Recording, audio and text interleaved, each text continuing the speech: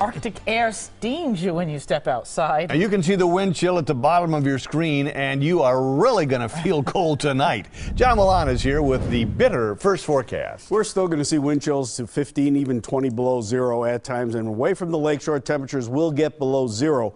Once again, not as cold as last night. Five below zero, Milwaukee, seven below in Sheboygan, seven below in Madison. Look at the 19 below zero in Rhinelander. They have a lot more snow on the ground there. That was a chilly air mass for all of us. And right now we're at six in Milwaukee. Look at Sheboygan and Fond du Lac. You've already dropped to two degrees there, three Beaver Dam, West Bend, and Port Washington.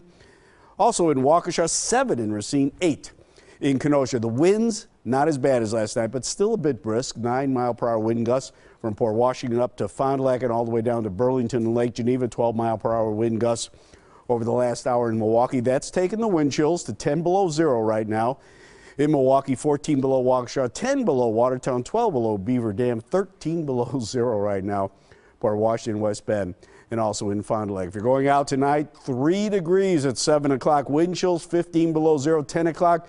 Wind chills around 15 to 20 below zero, 1 degree in the morning hours when the kids are at the bus stop, zero. But clouds are rolling in, and that means we're going to start a warm up. And then after the warm up, we have a Alberta Clipper coming through. It's late in the week. It's going to be Thursday night into Friday. Could drop a little bit of accumulating snow here, maybe an inch or two by noon on Friday. Do you guys get the feeling that January is back and winter is really here? Yeah, definitely so, and still dangerous I, out there tonight. Very dangerous overnight tonight. Thanks, John. Five. Four coverage continues now. This cold weather has a lot of people in the mood for some comfort food. Well, Jesse Ritka did the cooking and an experiment. Here's what she dished up.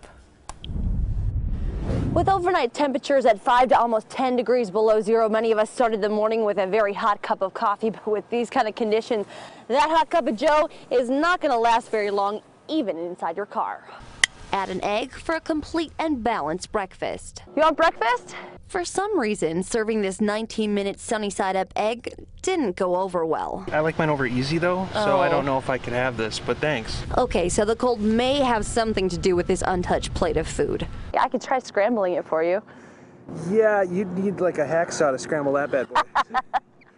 While we aren't anywhere near the record low of 22 degrees below zero, this certainly isn't the way many of us envision starting our day. On your side in Milwaukee, Jesse Ritka, today's TMJ4. We make really thick coffee here at TMJ4. that says a lot, doesn't it? yeah. Well, thank you, Jesse. You know